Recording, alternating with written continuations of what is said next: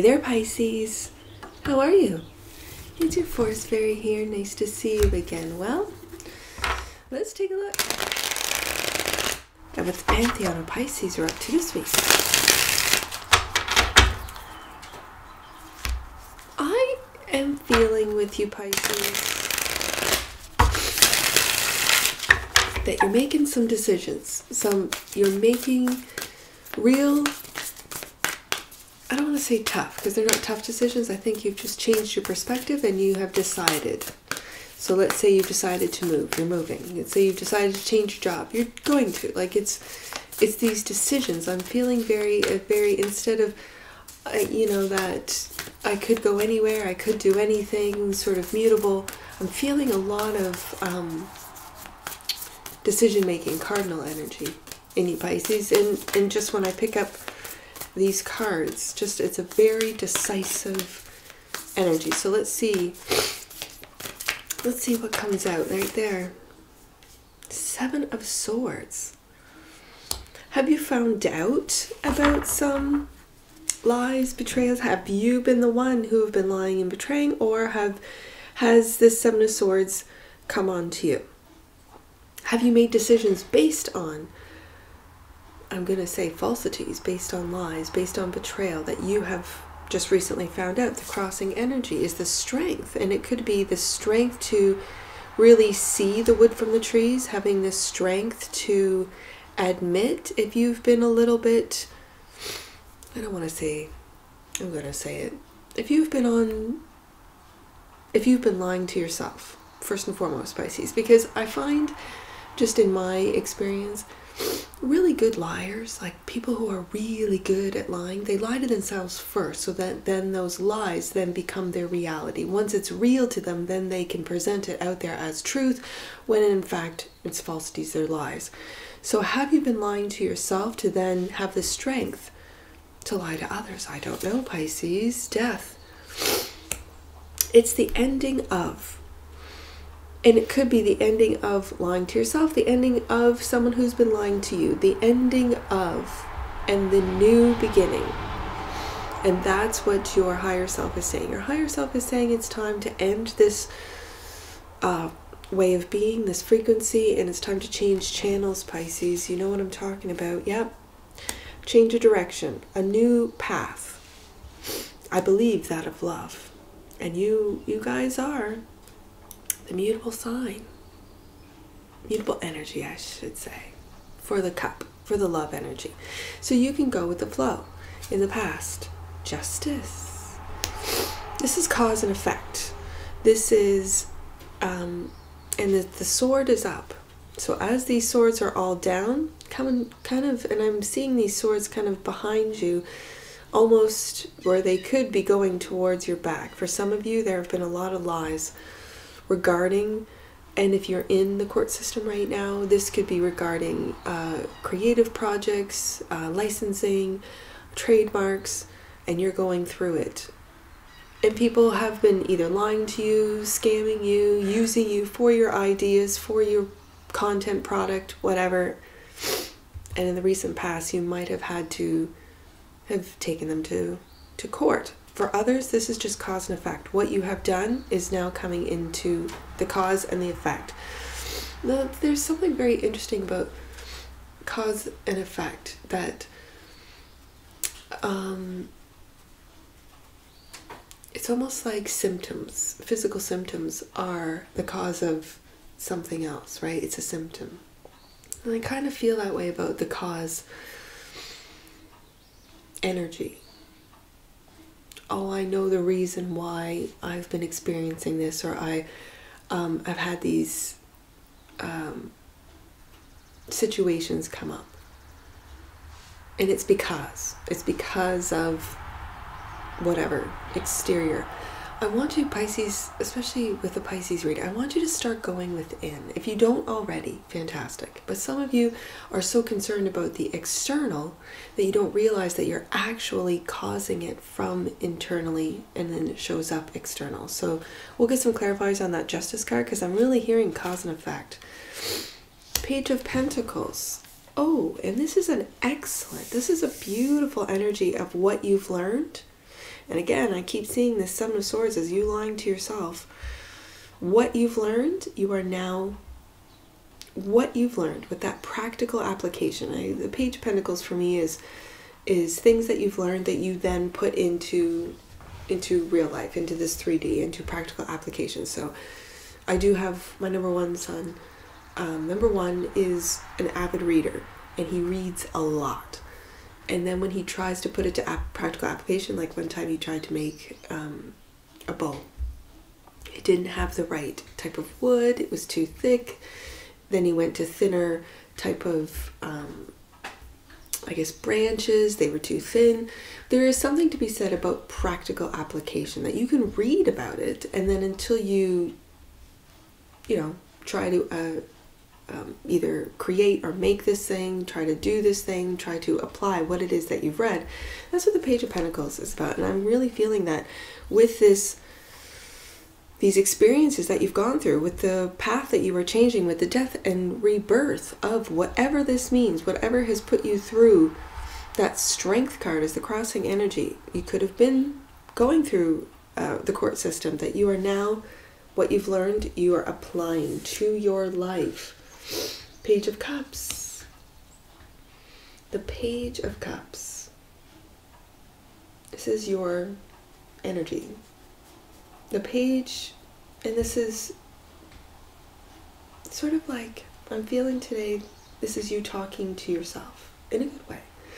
This is you um, really taking a look at maybe how, and you've been talking to yourself, it could have been in negatively, it could have been um, how you really perceive who you are, and now you're taking a real look. I've got fresh new energy with the Page of Pentacles and the Page of Cups. How other people see you, communication.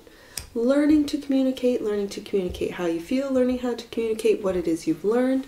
They see you as really the Eight of Wands is communication. The Two of Swords. The Two of Swords is, I'm hearing today, not wanting to see, refusing to see the wood from the trees, refusing to see, not wanting to see. And there's two sets of truths, is what I'm hearing. Your truth, someone else's truth, and it could be, again, regarding the Seven of Swords, and underneath the moon. So no one really wants to speak the truth. And the Nine of Cups. Wish fulfillment for some of you and emotional independence for others. You are standing up. That which you might not see is that Seven of Wands, standing up and believing in yourself. I keep hearing Pisces needs to believe in themselves. Oh, upside down. Split the deck. Knight of Wands, King of Cups. Knight of Wands taking action on that which you love, King of Cups. That's Scorpio energy. And I got Scorpio up top there.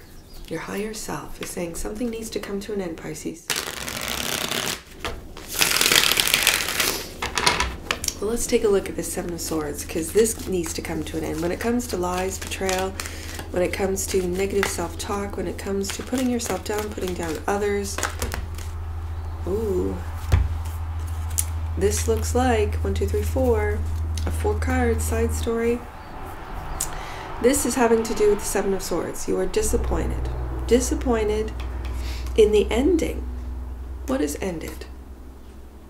Oh, disappointing. It almost feels like this could be death of ego that you have kept in your mind, locked yourself into what it was your ego has told you. And it's all secret. That's very much what I saw in the hope and or fear is that have you been lying to yourself, Pisces? Have you been telling yourself what you your ego wants to hear instead of what is? Bottom of the deck. Ace of Cups. Love yourself first. Beautiful. That is beautiful. That is again practical application. The learning how to love yourself and then doing the steps it takes.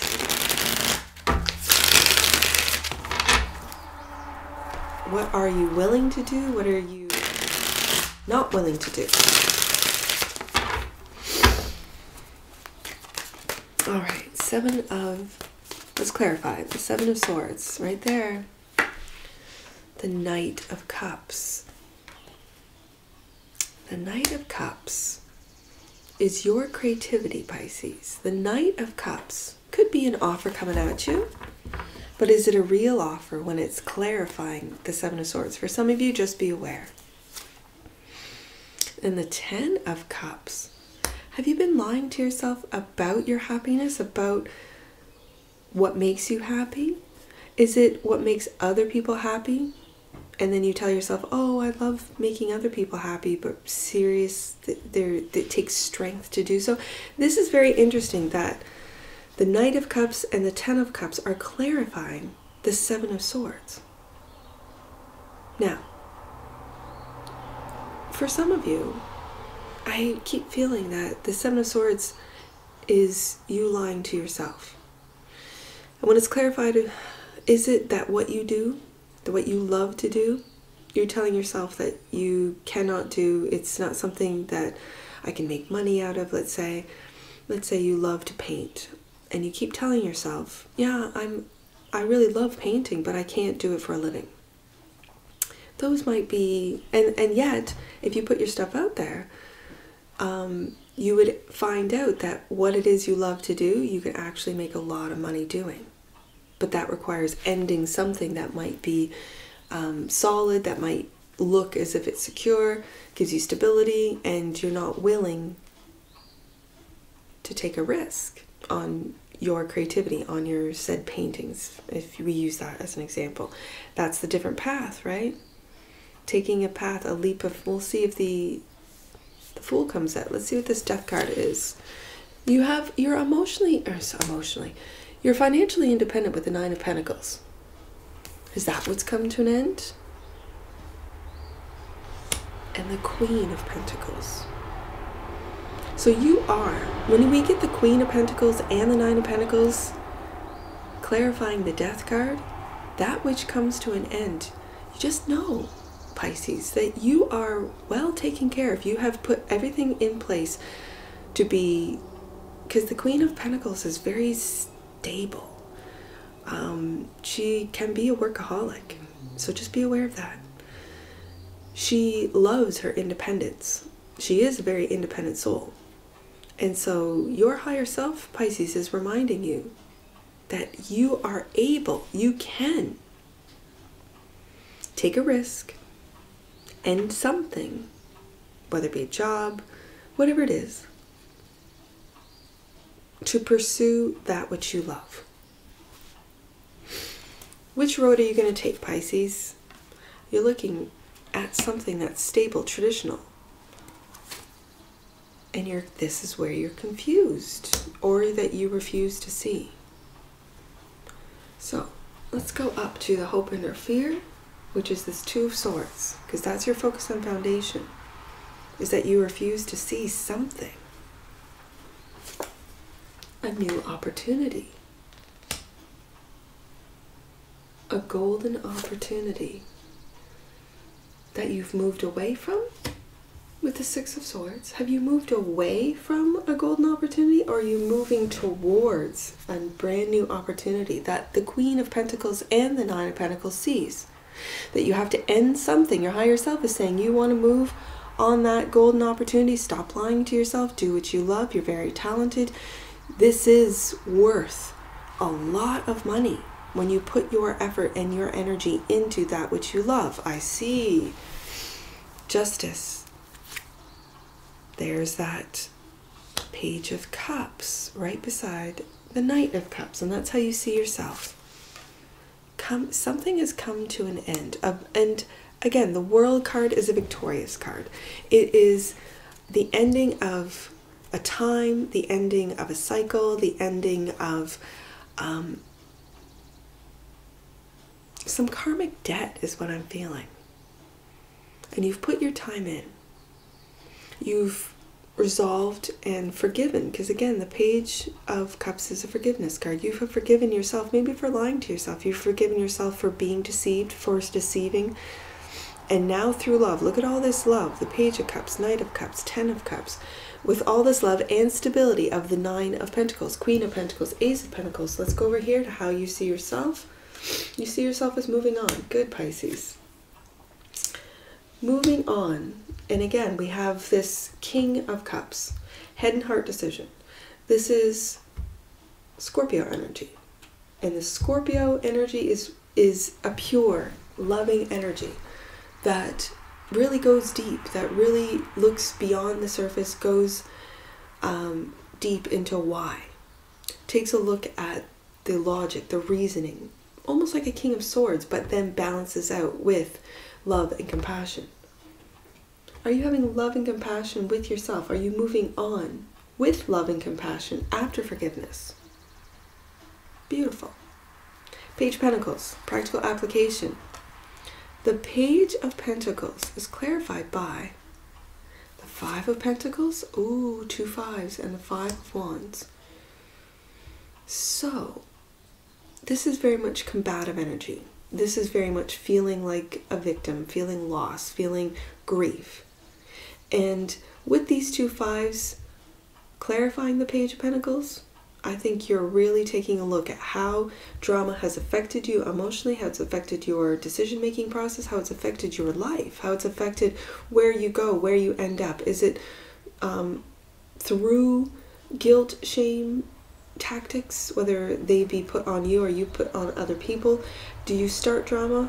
Do you end drama? Do you avoid drama? That's what this Five of Wands really feels like, just stirring the pot and then being left out in the cold or giving others the silent treatment. That's and you're learning how to better, I don't know, um, deal with your emotions and how they then affect your behavior and what behaviors are you taking based on what you feel. Ooh.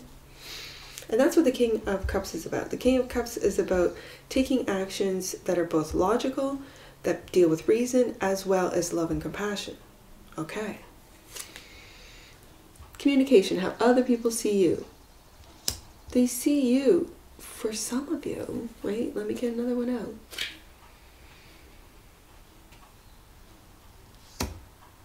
They see you very hurt. Maybe your words are hurtful. You've made a decision with this lovers and they see you either you're trash talking or you're you're really expressing the, the heartache, the hurt that you have gone through. Interesting. And that's how other people see you. I see a decision here, a choice when it comes to love, you choose to love. You choose to be loved, you choose to love. You can't force it, you just choose. So, are you choosing yourself first? Are you choosing others first? What choice have you made?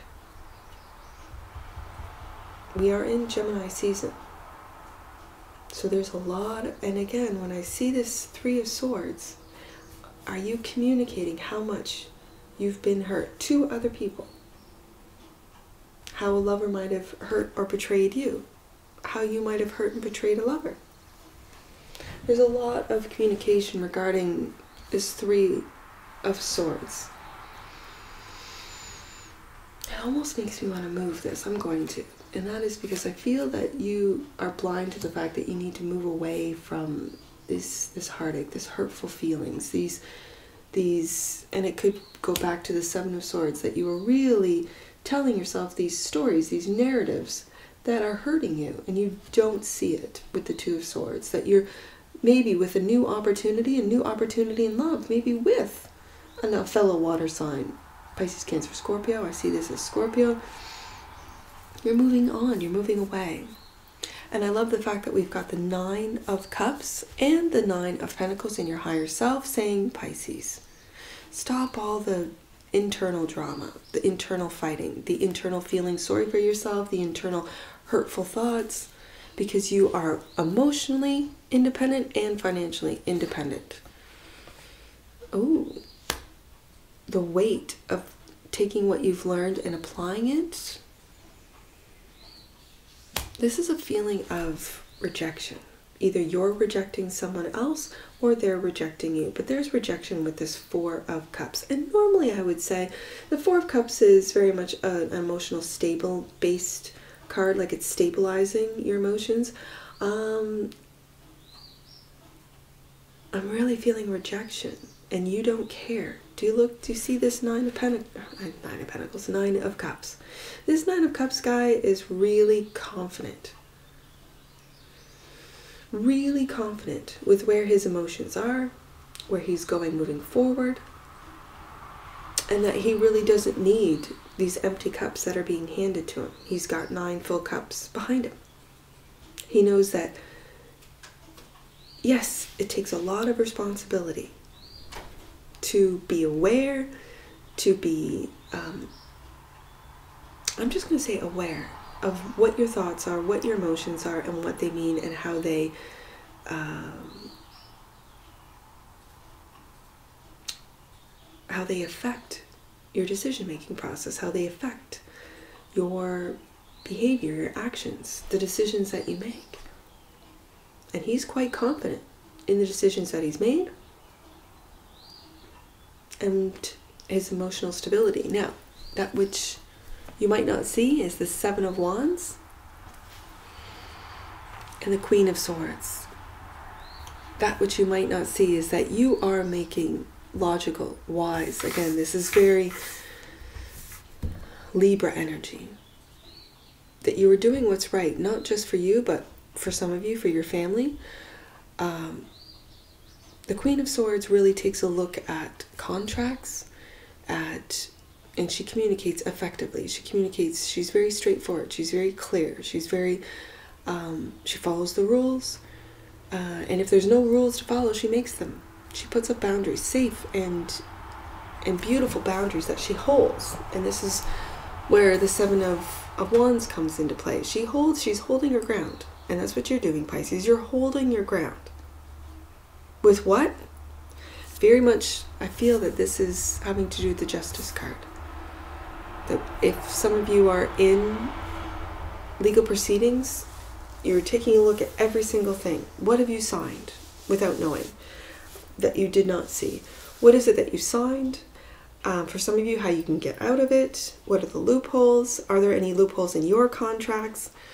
And you're defending the actions that you've taken.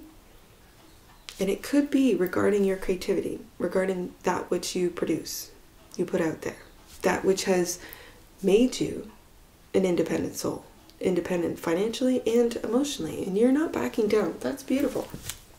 You are not backing down. Let's see. I see 910. I see 255. Let's do 255 first. Let's get some angel numbers on this, Pisces. 255.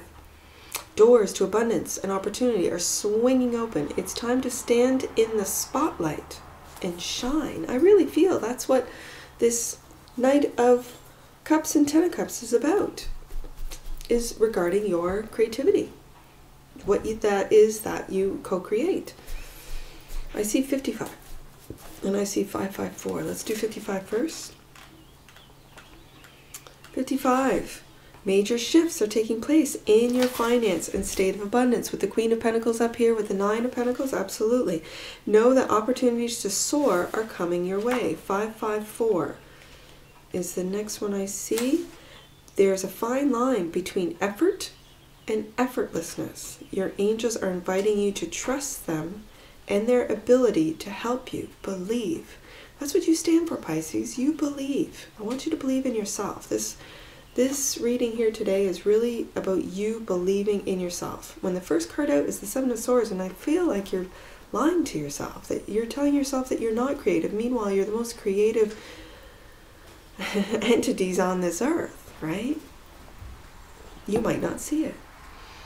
I see 63. Now, any numbers that you see on my table, Pisces, that I do not read aloud, those are personal messages for you. Get your book and take a look. If you do not have an Angel Numbers book, go to the description box below, click on the link, and grab yourself a book for all future reads. 63. Releasing situations that are draining will make room for miracles and expansion. Take time to release the old. And then the last one I see, 553.